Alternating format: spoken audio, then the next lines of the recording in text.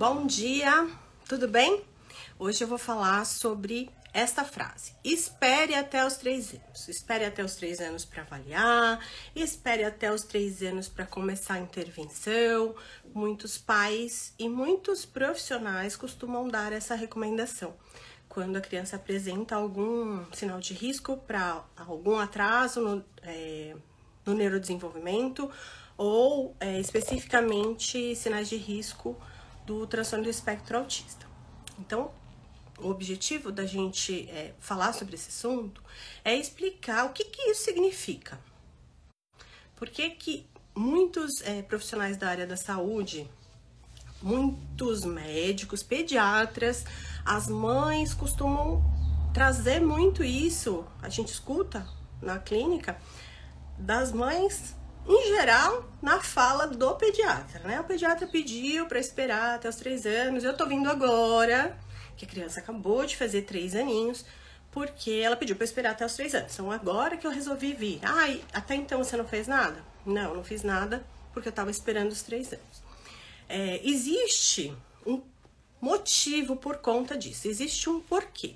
Não necessariamente estou dizendo que isso aqui tá certo, tá? Mas existe um porquê é que esse porquê é meio desvirtuado, assim, por conta de questões é, um tanto financeiras, burocráticas, é, de preguiça, tem um monte de coisa envolvida. Então vamos pensar juntas, juntos, um pouquinho sobre isso. Quando a gente pensa em transtorno do espectro autista, a gente está pensando em algo que é em atrasos persistentes da comunicação social, em déficits e prejuízos devido a comportamentos repetitivos e estereotipados, padrão de comportamento repetitivo e estereotipado, que acontece em geral a partir, né, costuma aparecer é, após os 12 meses, com mais frequência após os 18 meses, até os 3 anos. Então, é, esse dado, ai, após os 12 meses, após os 18 meses, é assim, é o que aparece com maior frequência, maior intensidade. Quando as crianças são diagnosticadas, quando vai olhar lá para trás, olha, ele fazia isso aqui, mas aí lá com 9 meses, com 10 meses, 11 meses, a criança fazia um outro comportamento, mas não tinha todos os critérios para conclusão diagnóstica. Isso vai se construindo muitas vezes e como critério limite para o diagnóstico é os três aninhos, né? Então, todos os sinais precisam estar presentes, consistentes, de maneira permanente, é, trazendo prejuízos permanentes e consistentes até os três aninhos. É, muitos profissionais uh, que não têm, às vezes, recursos para uma avaliação conforme os, os estudos e a literatura é, pede como a melhor forma de se avaliar uma criança, ele vai contar com o que ele tem. E às vezes o que, que ele tem? O tempo, tá? Então eu já ouvi esse relato muitas vezes de pais com poucos recursos que é, estavam com é, profissionais uh, da área da saúde, é, médicos, ou, e às vezes não só médicos, mas assim, tinha lá uma consulta é, uma vez por mês com uma fono de uma determinada é, área que via aquela criança uma vez por mês, um, uma espécie de triagem, uma espécie de avaliação que era feita uma vez por mês. Tem de tudo, né? Quando a gente está falando do serviço é, do SUS e de alguns serviços de algumas instituições.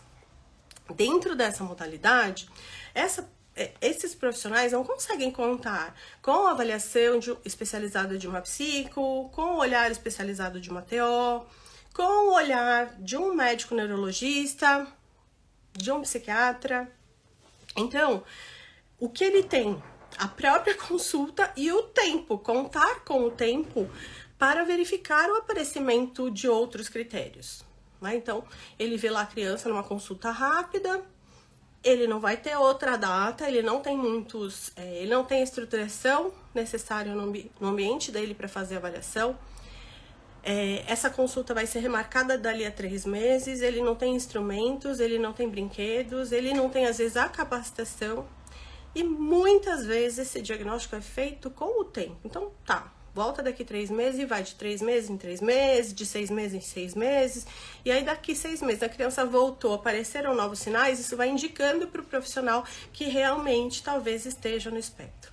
Quando a gente fala de, de SUS, serviços de intervenção super escassos, né? Então, muitas vezes o atendimento é guardada algumas algumas algumas exceções, tá?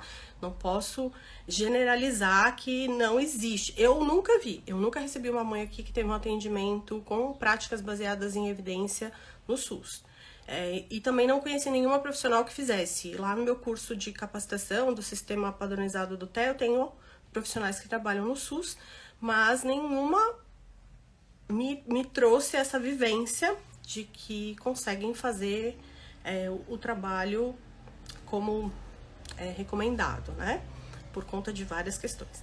Mas voltando, é, essa falta de é, poder contar com uma equipe para subsidiar a decisão do médico é o principal motivo de muitas vezes os médicos pedirem para aguardar os três anos.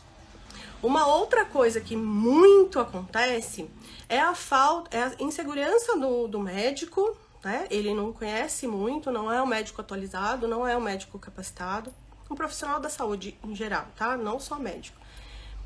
E ele não sabe nem direito se vale a pena encaminhar ou não, porque como ele não conseguiu ver gravidade naquele sintoma, naquele sinal, é, ele não sabe se aquilo é realmente algo digno de uma preocupação, ele não vai assustar aquela mãe. Ele vai dizer: olha, é, vamos esperar até fazer uns três aninhos, coloca na escola e vamos acompanhando, né? Porque somente um profissional com olhar treinado, capacitado, que se aprofundou nesse tipo de, de avaliação, ele vai conseguir, por exemplo, ter noção que uma criança que é, tem um contato visual alterado, tem baixas expressões sociais, não aponta, não compartilha e tá lá com dois anos e meio, que esses sinais são graves e precisam ser investigados por profissionais especializados. Precisa de uma avaliação de uma fono, com toda certeza. E não dá para ficar esperando os três anos, é, porque ele só vai perder tempo numa janela de oportunidades é, que podem é, prejudicar irreversivelmente o desenvolvimento. Então, gente, eu tô falando dos casos em que os sinais não estão claros é, e falando aí como algumas pessoas dizem, né? Tem crianças que os sinais são tão claros e evidentes que qualquer profissional consegue pensar em autismo olhando para aquela criança. Não porque ela tem características externas, né? O autismo não tem essas características é, fenotípicas, mas o comportamento é muito típico de uma criança que tem dificuldade de comunicação, de interação social, é, e às vezes por conta dos comportamentos repetitivos estereotipados e a grande conscientização do autismo que nós temos hoje em dia, muita gente já conhece os sinais clássicos. Quando não se trata dessas crianças, aquela criança que tem é, padrões não clássicos né, no, no, no, seu, no seu comportamento. Ou ainda, crianças que não apresentam todos os critérios, crianças menores de 3 anos, que não apresentam todos os critérios de forma consci, consciente, não, consistentes, essas crianças, elas podem é, não ter o seu diagnóstico fechado, porque precisaria de uma ou de um olhar mais uh, aprofundado, de uma avaliação com profissionais experientes nesse tipo de avaliação, ou mesmo profissionais mais experientes também não conseguiriam fechar nesse momento porque a criança não apresenta todos os critérios, tá? Aí a gente vai falar, juntar isso com intervenção precoce. Quando os pais, é, se eles estão lá no consultório é, do, do pediatra ou do psiquiatra, neurologista, enfim, a depender da, da, das possibilidades dessa família, né, do acesso de recursos dessa família, esse médico que percebeu ali alguns sinais pode dizer: olha, você pode fazer uma avaliação com uma equipe especializada e aí a gente vai ver, né? Porque a consulta do médico é um pouquinho mais rápida, né? O médico precisa, eu, eu, eu gosto de, de falar lá no meu curso, eu falo isso. é, é, o hemograma completo, né? O médico ele vai fazer o hemograma completo para descobrir para onde ele vai. Nós, psicólogas, fonoaudiólogas, terapeutas ocupacionais, a equipe é, que complementa em geral as equipes, né, psicopedagogas, neuropsicopedagogas, nós somos o hemograma completo. Se a gente souber o nosso lugar e o que, que a gente pode fazer para subsidiar a decisão do médico. Eu não estou falando daqueles laudos mequetrefes que sai assim, né? A criança não interagiu, a criança não, não foi possível aplicar os testes, a criança é rígida e manda para o médico decidir. Isso não ajuda o médico mas é, os laudos adequados, que avalia tudo que tem para avaliar e quem, é, quem conhece um pouco mais sabe quanta coisa a gente tem que falar para subsidiar, para poder subsidiar a adesão do médico que vai ver menos essa criança. Então, somos nós que vamos é, auxiliar o médico a tomar essa, essa decisão. Então, se a família tem recurso, se a família tem possibilidade, esse médico, diante dos sinais, ele vai pedir essas avaliações complementares. Se tiver recurso, essa família vai buscar. Ela não vai ficar assim, ah, meu Deus, mas espera, ele não tem três anos ainda, essa avaliação pode ou não ser conclusiva agora né? Então, eu já vou fazer agora, porque se for conclusiva, a gente já tem o laudo, já tem o CID e já começa a ter acesso às terapias com práticas baseadas em evidência, porque o convênio só vai liberar se tiver a conclusão diagnóstica. Se não tiver, porque os, os critérios não estão tão evidentes, os comportamentos ainda não estão tão evidentes, não vai fechar, a equipe não fechou. Olha, tem sinais de autismo, mas ainda não tem todos os critérios, não estão todos aqui ainda. Essa criança, sei lá, tá com dois anos e dois meses, mas não apresenta todos os critérios para fechar. Então, a, sei lá, a psicóloga coloca lá uma HD de sinais de risco, a fono, a TO, o médico também não fecha. Essa família não vai ter acesso ainda tá? Só vai ter acesso se fechar lá na frente. Então, vamos supor, dois anos e meio, a criança começa apresentar um padrão mais rígido de comportamento, surgem algumas estereotipias, alguns um brincar mais, mais rígido, fecha lá o que estava faltando, conclui o caso. Tá? Um exemplo. Aí, diante da conclusão desse caso, essa família possivelmente com laudo vai ter acesso às terapias, tá? Então, muitas vezes o que, o que pega para não é, conseguir esse laudo é uma questão financeira. A gente tá cansado de, é, careca de ouvir, né? Então, mas olha, é, vai ser conclusivo agora ou não?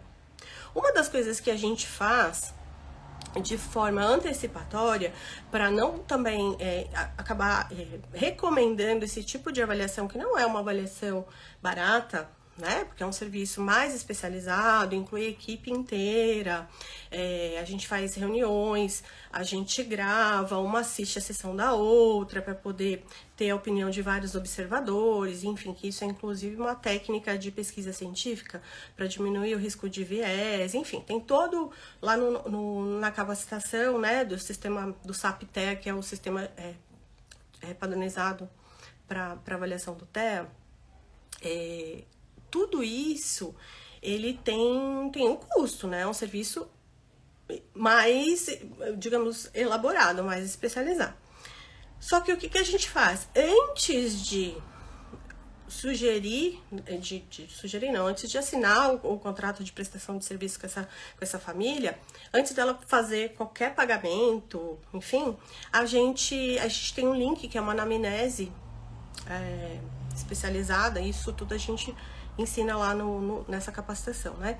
Que a gente dá uma rastreada nessa no histórico dessa criança para ver se ele tem sinais mais evidentes é, que realmente essa avaliação neste momento seria indicada. Se a criança tem pouquíssimos sinais, se é, tá aquela coisa ainda, é, um ou dois sinais, a gente não recomenda essa avaliação completa, a não ser que o pai queira, tá? E a gente faz um outro caminho e diz para ele, olha, pode ser, ele apresenta só esse, enfim, já uma, uma questão única, né?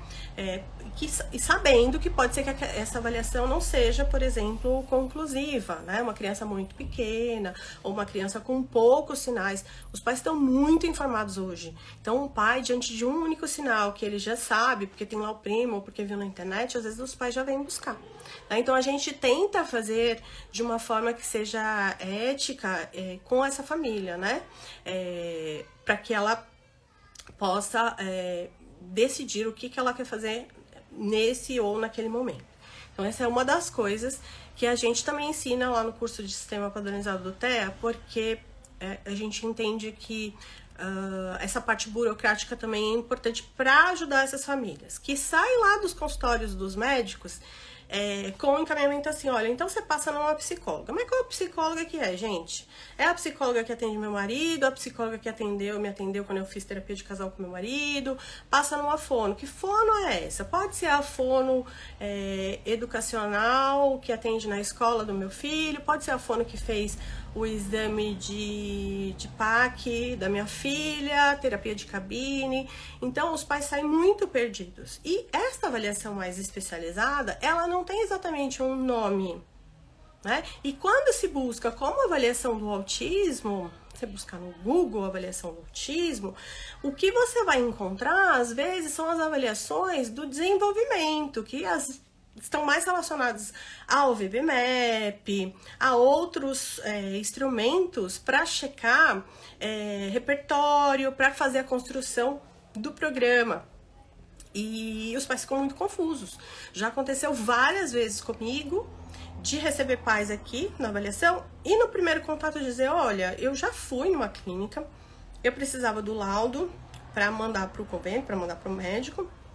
Eu fui numa clínica, meu filho passou por três meses de avaliação e esse aqui é o laudo e não veio CID. Aí a gente vai ver uma avaliação do VibMap, né? Com, e aí sugeriram 40 horas de terapia para ele, ou 30, enfim, não me lembro, já aconteceu de 40, 30, 20.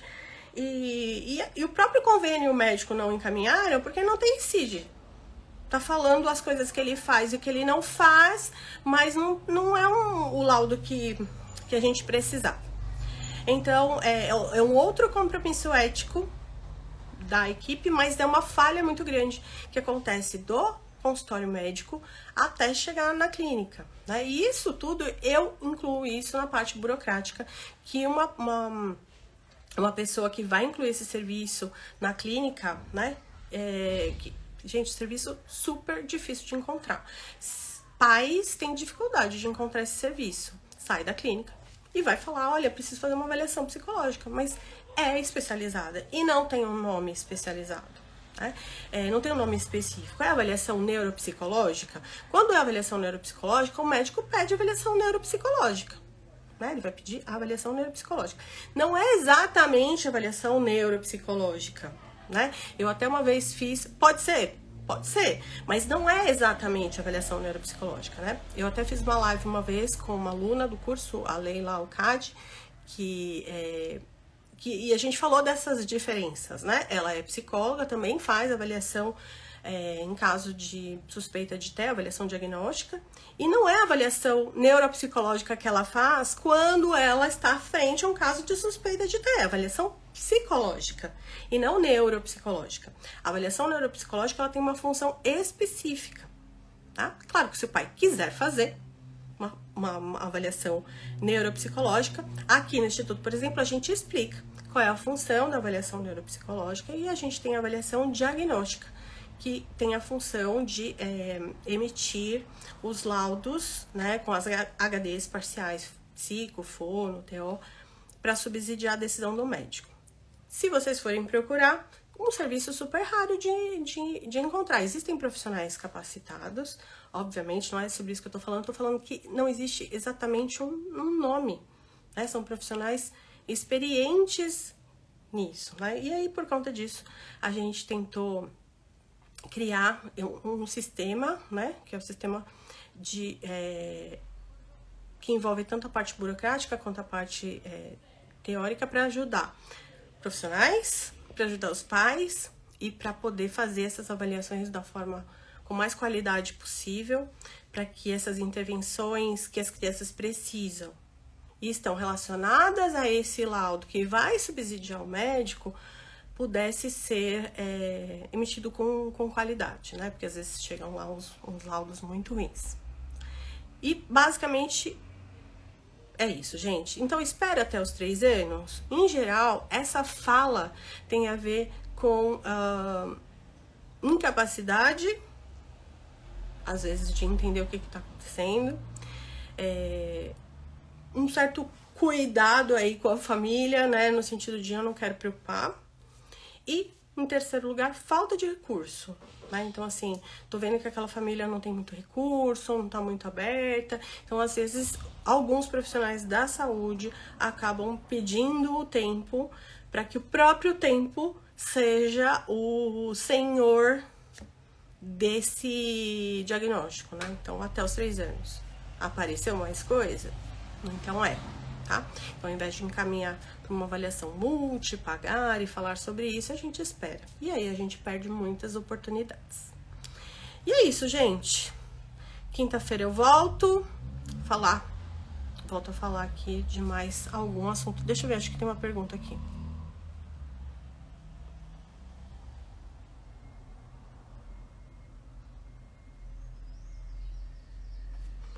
É, não tem não. Eu achei que tinha aqui na caixinha. Deixa eu ver aqui se tem pergunta. Acho que eu tinha visto alguém que era do. Pra variar, eu tô sem óculos, mas que trabalhava no SUS, né? Deixa eu ver aqui.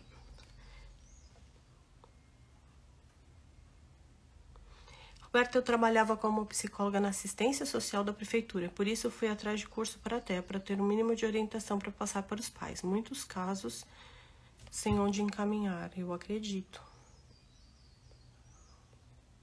Acredito, tem no, na pós-graduação que eu dou aula, que é de psiquiatras, tem muitos psiquiatras que trabalham no SUS e essa é a, é a vivência. Ou mesmo lá na própria universidade, né? Universidade não, na, na própria faculdade.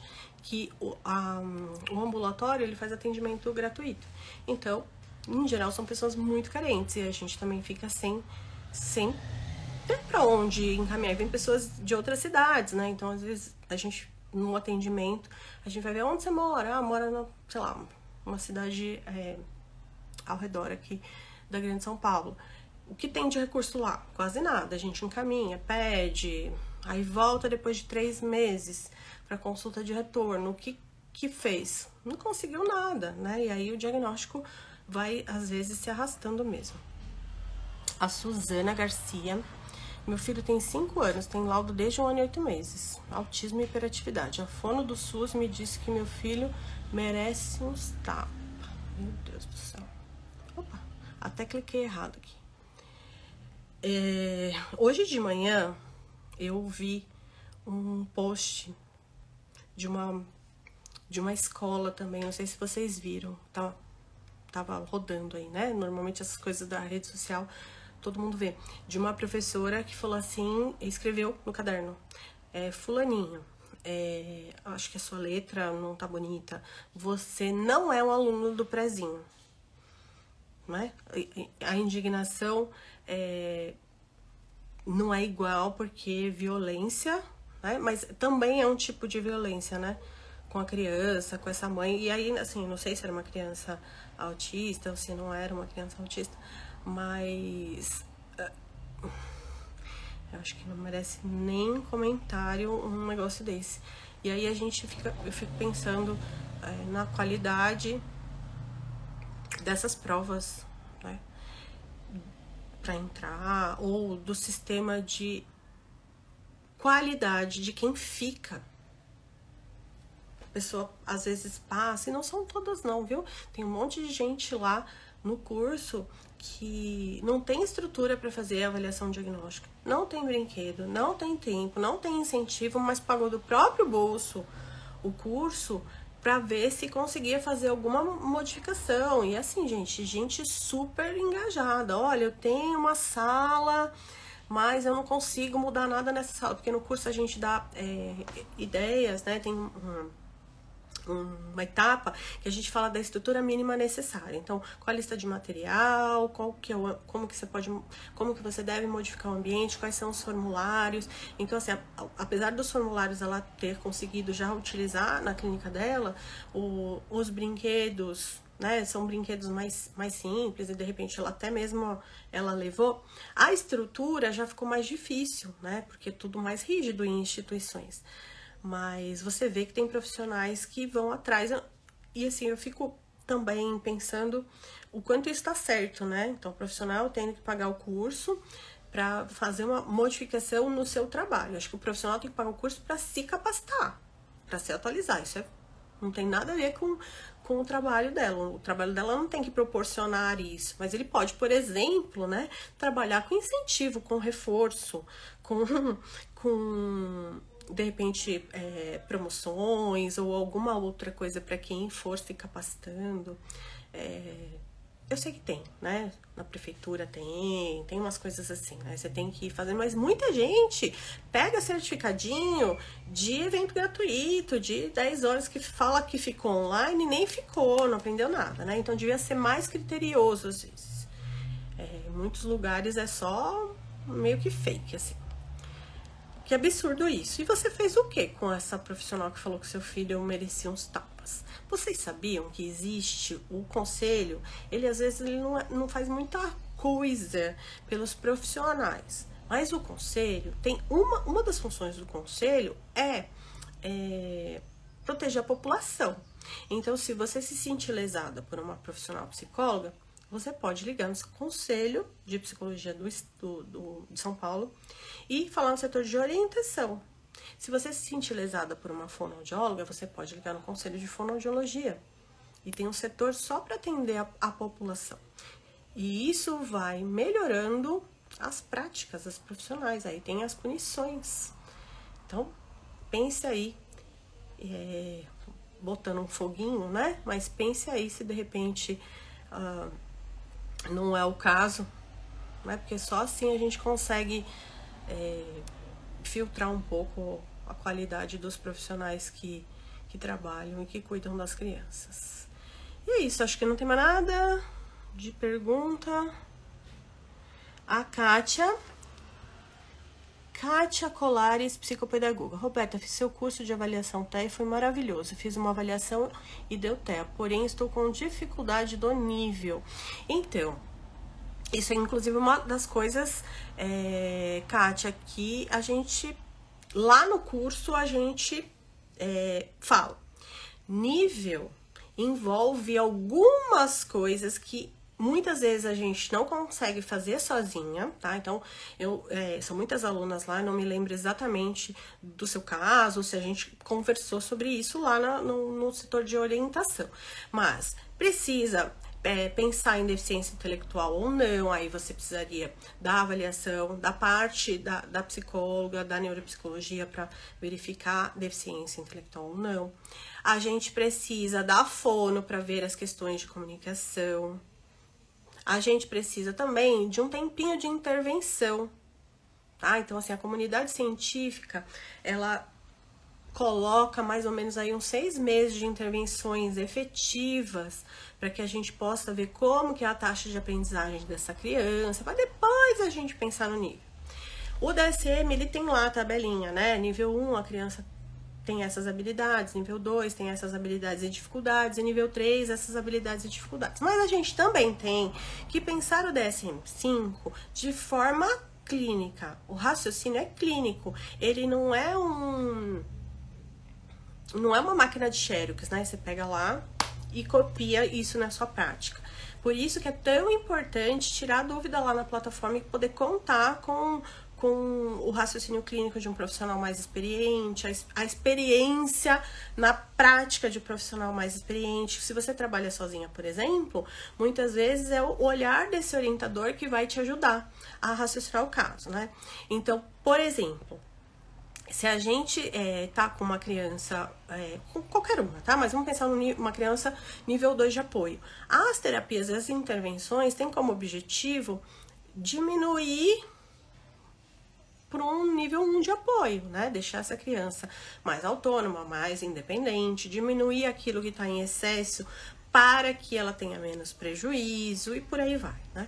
Então, é, vocês já ouviram aqueles, ah, meu, meu filho saiu do espectro, enfim.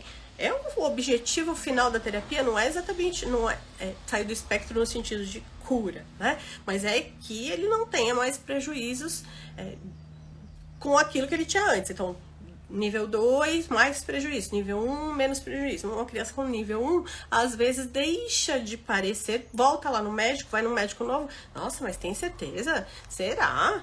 Né? Mas aí as mães falam assim, ah, ele não sabe o quilo de sal que eu comi, né? Hoje ele tá bem. Olha quanta coisa a gente, a gente fez, a gente trabalhou.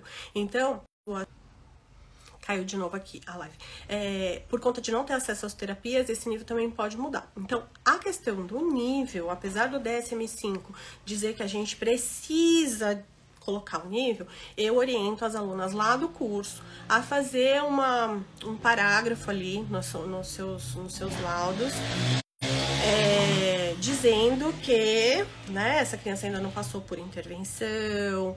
É, se você fez sozinha, ainda mais, tá? Aí você precisa mencionar a necessidade de outras profissionais é, entrarem para super juntar com o seu para depois ir ao médico. Mas se você já fez uma equipe, já fez você, psicóloga, fono, TO e tudo isso vai para o médico, cabe ali nesse laudo integrado vocês mencionarem, né? Que para pensar nesse nível depois de alguma intervenção efetiva, né? A gente parte do princípio que qualquer criança que não não fale é, é nível 2. Mas é mesmo, né? Ou ali a criança começa, às vezes a gente vê, uma criança começa duas, três, quatro semanas, já começa ali, surgem umas palavrinhas, dois meses, a criança já tá com a comunicação lá em cima. Então, assim, colocar o nível ali, muitas vezes é uma coisa que cai por terra em um, dois meses com intervenções efetivas, intensivas. Então, às vezes, vale mais a pena conversar com os pais. É a neuropsico Ribeiro. Aí aqui eu não sei se é neuropsicopedagoga ou neuropsicóloga. Gente, dá muita confusão esse negócio, né? Mas vamos lá. Infelizmente, existem escolas não inclusivas, profissionais despreparados e pior de tudo que infelizmente o governo, a prefeitura não não dá respaldo. É. Eu sempre falo para as meninas, toda vez que a gente fica muito presa num caso sem conseguir resolver, em geral, a questão financeira tá pegando. É, entendi, mas na devolutiva não é necessário colocar o nível? Usei o SR2 como. Uhum. Não. Tá? Você pode mencionar que você não vai é, indicar o nível, tá? Porque falta isso, isso, isso e isso. Tá? Tudo aquilo que você não conseguir avaliar, que você não conseguiu verificar, você menciona. Ah, então não foi possível uma criança, por exemplo, de dois anos e meio, dois anos, quase três anos. Já existem testes para é, verificar questões intelectuais. Tá? Já existe o som R, vamos supor. Mas é uma criança que tem tanta questão comportamental, tem tanta questão sensorial, ela não senta ainda, não tem comportamento de aprendiz, ela não vai conseguir. Qualquer teste que a gente for submeter, ela vai dar muito prejuízo, mas mais por conta de questões comportamentais que ela ainda não tem, do que exatamente por uma questão relacionada ao raciocínio para resolver o teste. Então, o que é de praxe? Depois de seis meses de terapia intensiva, efetiva, a criança já tem ali algum comportamento de aprender a sentar, seguir instrução, rastreio visual, ela já consegue fazer um teste. A gente vai ensinar o teste, né? São outros comportamentos. E aí a criança já consegue fazer esse teste com mais. já consegue fazer. E aí tem menos é, interferência dessas outras habilidades que poderiam dar lá uma, uma, uma, uma deficiência intelectual, mas seria muito mais interferência das questões comportamentais, né? Então a gente menciona, ainda não, não, avaliamos questão intelectual, ou vamos avaliar daqui a seis meses, tá? Então O que é combinado não sai caro, né, gente? Menciona no laudo, informa o médico, informa o resto da equipe, tá bom? E é isso, gente. Até quinta-feira, mais ou menos por aí, 11, 11 e meia, eu apareço por aqui, tá bom? Tchau, tchau!